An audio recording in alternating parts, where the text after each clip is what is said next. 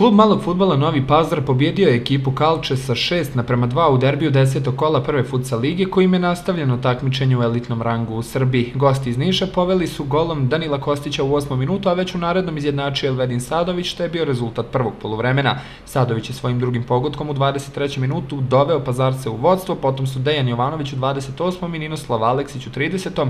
odveli domaćina na 4-1 da bi se Kostić drugi put upisao u strilce u 31. minutu, pa je rezultat smanjen na 4-2. Meč su kao dvostruki strilci završili i Jovanović, Aleksić, koji su mrežu Kalče pogodili u 35. i 39. minutu meča. Bili smo bolji, stvarali smo prilike, kontrolisali smo igru malte ne čitav meč, ali nekad, nekad lopte ni neće gol. Definitivno pričali smo i pre utakmice da nećemo gledati večeras pravi pazar i nismo ga ni gledali. Treba nam vremena da sve to legne na, na, svoje mesto.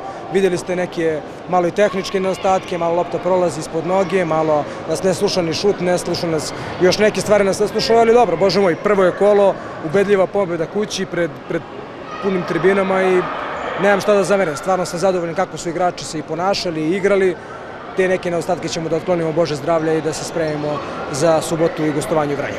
Potvrdili su tu neku svoju kandidaturu da slove za favorita za finale i za samo osvajanje trofeja.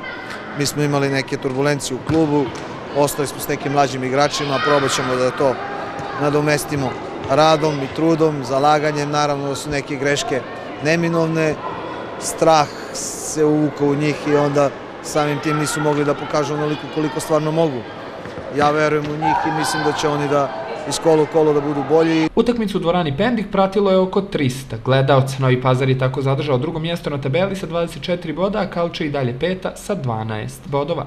Bila je veoma kvalitetna utakmica sa puno prilika na obe strane. E, oni su imali neku šansu iz prekide, postigli su gol, poslije smo se malo napatili dok smo postigli taj dok smo izjednačili, ali eto ušla je nekako ta lopta, možda smo i trebali da iskoristimo neke bolje šanse, a nije se to desilo, u svakom slučaju dali smo za izjednačenje, onda usledili su još neke šanse, napadali smo, kontrolisali smo igru, imali smo šanse, znači poslije smo dali još neki gol, znači za prednost, a onda tek smo počeli mi diktiramo tempo igre i poslije se sve svodilo na to koliko će se završiti kojim rezultatom utakmice, znači svi su zaigrali bolje, e, šta da kažem, protivnik je bio dosta kvalitetan u odnosu na odigrao je kvalitetnu utakmicu, e, ako znamo da su već napustili nekoliko nekoliko igrača. Moram da pomenem da ovaj klub, evo ja sam već pet godina ovde, klub iz svake sezone u sezonu raste.